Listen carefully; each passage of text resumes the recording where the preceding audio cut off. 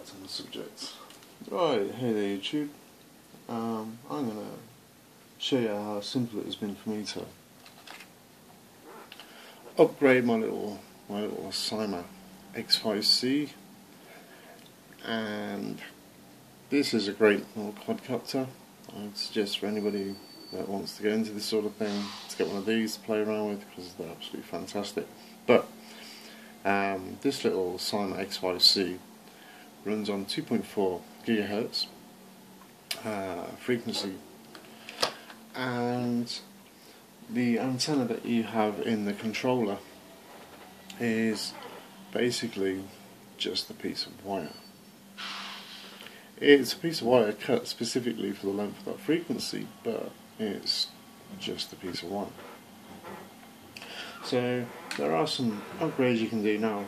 The way I've done mine is I've, I had a, an old Netgear router.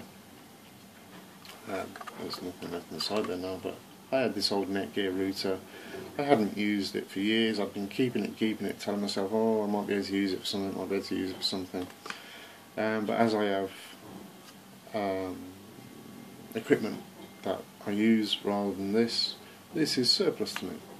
It's old, it's got to be at least 12 years old, and it's of no use to me anymore. So, but the aerial wah, wah, wah, has a little aerial on it.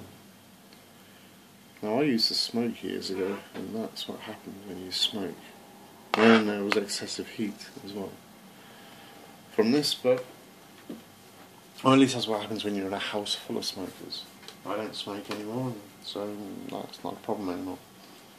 But it gives me this little aerial. It doesn't just give me the little aerial, it also gives me the connections. Um, the part that I need to screw into, and it also gave me the wire off that. Now, on the Syma controller, as you can see in front of me, you'd think, oh, it's got a, it's got an aerial sticking out the top. Look how deep that has to go in. But bam, bam, bam, that's just a dummy. That's a fake. You know, this little piece of wire that I just showed you, which is the stock antenna, that doesn't even go in this. It's not as though it's like that sticking out the top. Oh no, no, that's just inside, just inside here, not doing anything. And that's just there for show. It's there just for cosmetics. So let's take a little look inside here. Now I've already taken out the screws, or at least as many as I can without getting into a bit of a fight with it. There we go, there we go. Now I must admit what I did with mine was got rid of all these bits and I unsoldered here. I unsoldered there because it was going to make my life easier.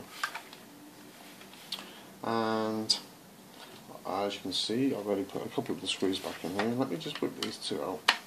Oh. Can't seem to get my hands to where I want it to. Let's just whip these screws out. Put them somewhere where I can find them again. Nope. Got no coordination. Okay, um, the front thing should come off anyway. Let's turn that back off again. Should probably take the batteries out.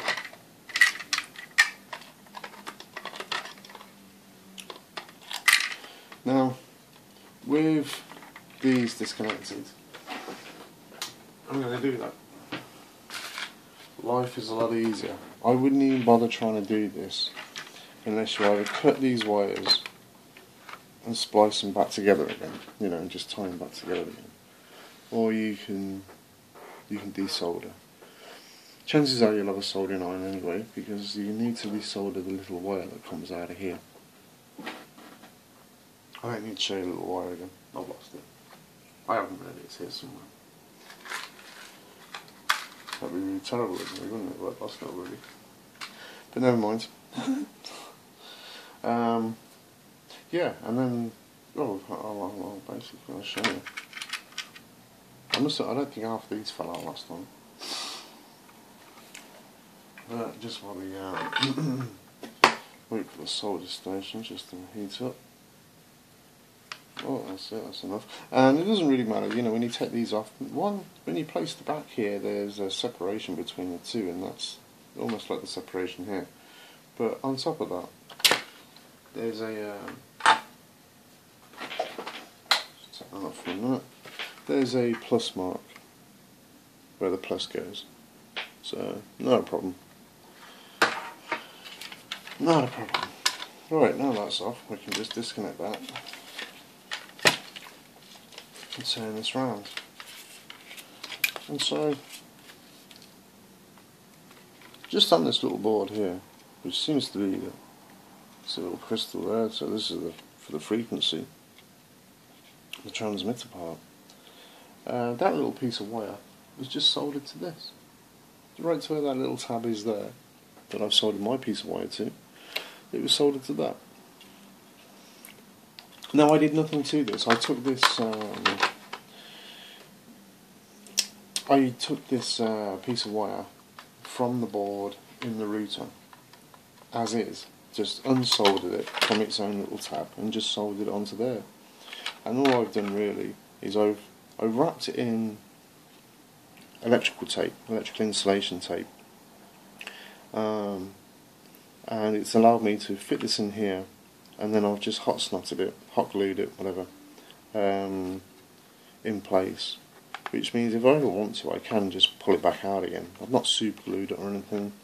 I can pull it back out again, and because I wrap tape around the threads, it'll be easy for me just to unwrap that, rather than trying to have to get glue and all sorts from it, and reuse it somewhere else. But what a simple uh, little upgrade and that's just using an old an old uh, an old antenna. That was going to have absolutely no use for me for, for, anything. But like I said I've had it for years and years and kept telling myself oh I'll use it I'll use it. There we go. There we go it's in its position for usage. Absolute brilliant. I don't know I've not done a range test on it. I, I you know I don't um, I've not actually done a range test on it. It's too great weather out there, it's quite blowy at the moment, so this little thing can't be taken out this little thing when it's all blowy. I'll take out the other one, the Hubsan. Um, but yeah, so simple as you like. Like I say, all you've got to do is just undo those. And if you're worried about the, um, the power connections, like I say, you don't even need to be looking at it. You just got to know that, you know, if you put it flat back there, the these wires have got a gap between them, same as what these have, and they and they just go to wherever. But if you can, there's a plus sign just on the back of this anyway, so it's not a biggie. Yeah, simple, but I'm going to get double the range. One, because the antenna is going to be on the outside, and secondly, because it's a it's a large antenna for radiation, and if it's used because a lot of people put their antennas up, they seem to think the signal might come out the top or something, boom, boom, but it doesn't, it radiates from the sides. In actual fact, this is a not a dead zone, but it's a it's not a good as zone, radiation zone as what the sides are. So if you've got the drone in front of you, if you radiate from the sides here, you've got a, a lot better um, signal strength to to the actual uh, to the quadcopter. So there you go, that's it.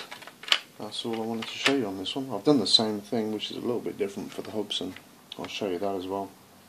Uh, I'm sorry I didn't make a video of me actually doing this. I didn't think anyone would be that interested, but somebody's already asked about the Hubsan one, so I'm going to do one for that. But as you like. And, and this thing as well, this this is because you get the bottom piece with the screw threads. This all um, it's got the the fittings. It it literally slots in here, and it's near enough a good fit. But you do need to wrap a little something around it to get it nice and solid. And then if you have got like a glue gun, it gives you this. Uh, you know, the, the glue there, that's even great because while it's still soft you just put the back on just to make sure that it all moulds in nicely so all this is like quite quite well moulded in. And it works great. absolutely perfect. As you can see now, all this down here is all dummies. None of these buttons do anything on this. They're just dummies. This lights up. This is good. Gives a display of the voltage power that's in your batteries. Um, lets you know. It's it's quite good if you want to learn sensitivity on your sticks. So you actually get to see on the little display here what's being used. Anyway, jibber jibber jibber. That's it. My little Syma update for the um, for the controller. Putting a new transmission rod on. Cheers for watching guys. Bye.